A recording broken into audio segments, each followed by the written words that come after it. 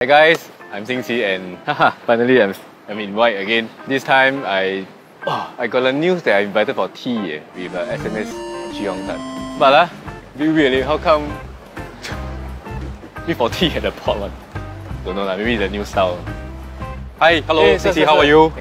Yeah, Well, so- today we are not having tea. Oh, And today we are not at the port. Today we are here to learn more about the maritime sector. Then maybe after the session, we can go have a beer. Wow, steady, go beer already. What? Huh? Sorry, you are saying maritime industry. What is it? Well, maritime industry, together with the aviation industry, these are like two halves of our lungs. They Ah. connect us to the world, help us to breathe. Maritime Okay. industry, a lot of the work is about how you transport goods in and out of Singapore. Okay. Right? So like Mm-hmm. food, essential supplies, raw materials, construction materials. So during COVID, nah, this was very Hmm. Important. Yeah, yeah. Right? The maritime industry is full of innovative companies and innovative people. Hmm. That's why today we are at Pier 71. Okay. It's a place where there are a lot of maritime startups. Sorry. Thought we are at the port. No, no, no. Today we're at Pier 71. Come, I show you. Pier 71 is a port. ah.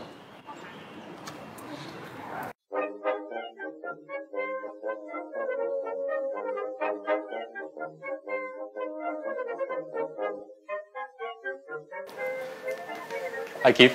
Welcome. Well, today I brought a friend, Xin Qi. Hello. Is it you Yeah. also want to take my rice bowl?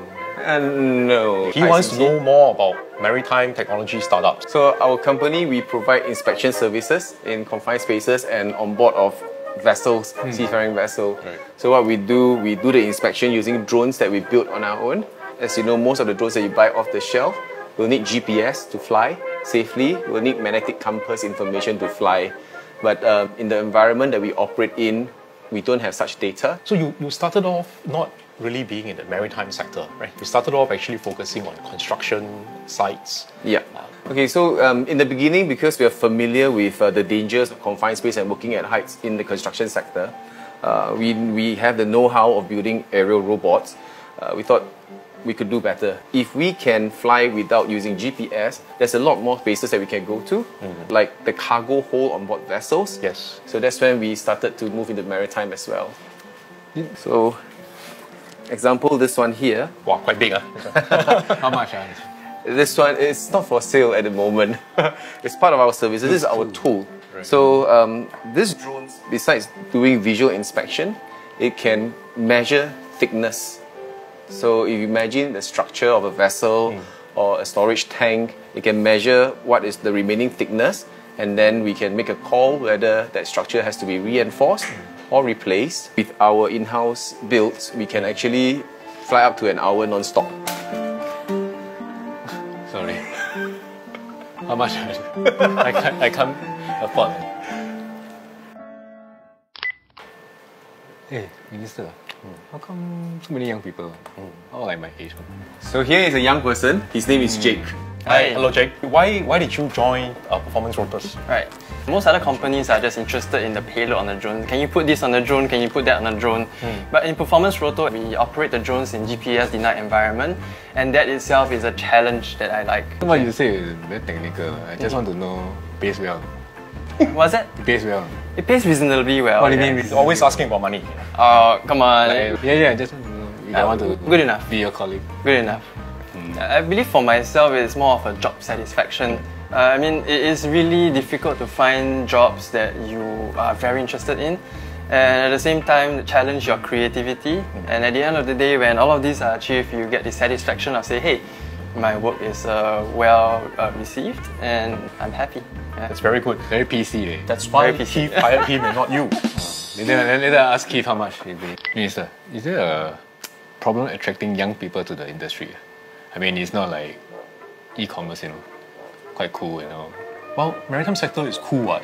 We got a lot of very cool jobs as well. You know, for example, we have cold chain, right? That's how we bring in our food, our essential medical supplies. Okay. Yeah, anyway, I'll show you one place. Yeah, we go and have a look. Okay. Where I can show you some of the cool innovation. Is it gonna be as cool as your jokes?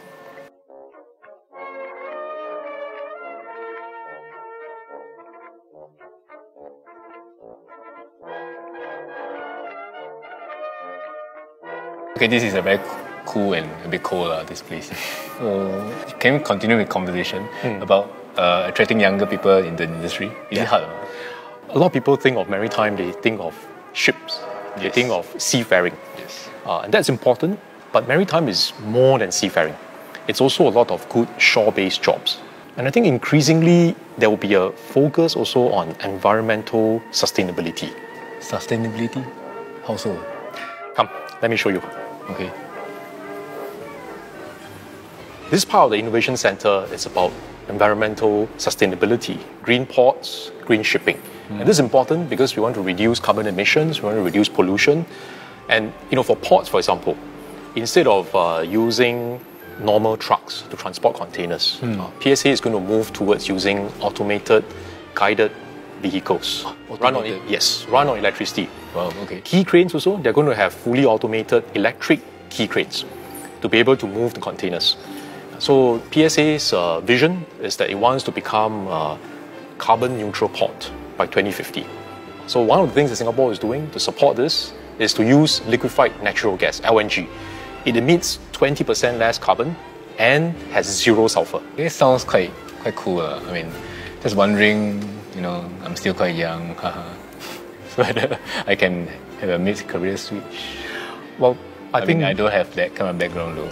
it doesn't matter. Actually, you know, we hire people with the right passion and the right attitude, um, and we will train them for the skills. Okay. This is an inclusive sector. We want to make sure that there are different groups of people who can join us at different parts of their career. So you too can play an important role. Really?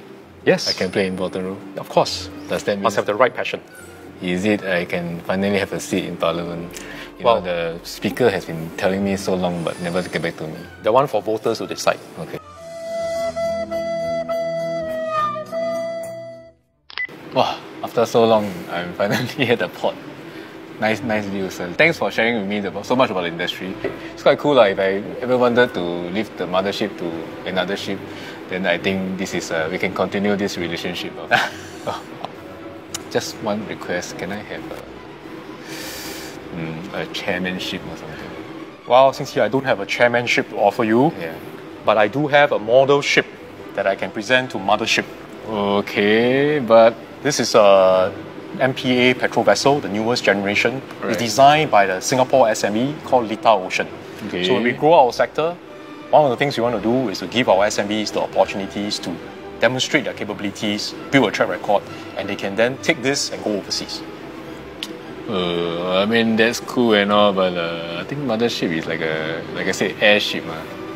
Well, whether it's an airship or whether is it an ocean-going ship, Okay. the most important thing is this: the ship is able to take you to where you want to go, help you to explore new lands, help you to explore uncharted waters, and uncharted territories. Okay. Uh, then I think it's a good ship.